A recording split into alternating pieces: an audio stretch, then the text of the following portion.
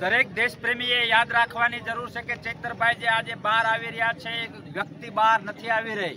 BJP દ્વારા જે લોકશાહીને તોડવાના પ્રયત્નો કરવામાં આવ્યા હતા. લોકશાહીમાં બંધારણ અને કાયદાનું જે સરસ મજાનું સર્વ સ્વીકૃત તાળું મારવામાં આવ્યું હતું.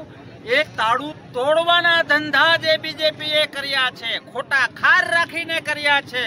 રાષ્ટ્ર અને લોકશાહીને બદનામ કરવા માટે કર્યા છે, પોતાના લોકશાહીના ડરને છુપાવવા માટે કર્યા છે, લોકસભાની ચૂંટણીના ડરને પણ છુપાવવા માટે કર્યા છે. એ બધા જ એ લોકોના પ્રયત્નો મિથ્યા સાબિત થયા છે.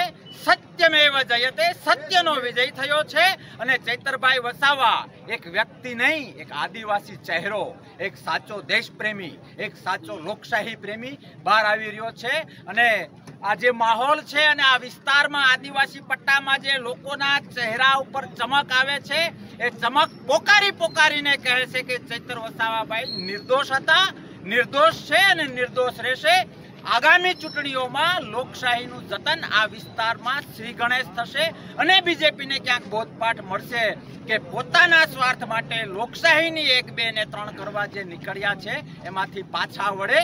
બાકી હું અનેક વખત કહી ચૂક્યો છું કે લોકશાહીમાં બાપ એ લોકો છે અને લોકોની હરી કરવાનું અને ખાસ કરીને એમએલએ કક્ષાના પવિત્ર અને લોકોએ સ્વીકારેલા લોકોનું ફરી કરવાનું બીજેપી બંધ કરે, કુદરતને પ્રાર્થના કે કમસે કમ આટલી સદબુદ્ધિ આપે. બીજેપીને બે વાક્યો વધુ એ પણ કહું કે ધર્મના નામે વર્ષોથી તાગડદિનના કરો છો, કમસે કમ ધર્મથી તો ડરો. પબ્લિક માફ કરશે, ઉપરવાળો માફ નહીં કરે. પાછા વળો પાછા. આદિવાસી સમાજ કી